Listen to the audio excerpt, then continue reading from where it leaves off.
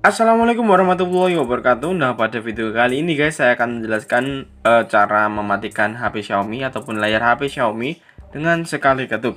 Nah, caranya mudah banget. Pertama-tama silahkan kalian masuk ke setelan. Setelah itu di sini silahkan uh, kalian kan kayak gini. Ketikkan aja gerakan di sini ya. Kayak tadi ya. Gerakan, aduh, gerakan aja. Nah, kayak gini. Kalau udah klik ini aja. Nah, di sini silahkan klik matikan layar di sini silahkan klik uh, tekan lama tombol beranda. Nah nanti secara otomatis uh, bakalan mati kayak seperti ini ya. Nah kayak gini. Bagaimana? Mudah sekali bukan? Kita coba lagi ya untuk nyalakan. Eh matikan. Tinggal set. Jadi kalian nggak usah repot-repot uh, pencet yang ini guys tombol powernya.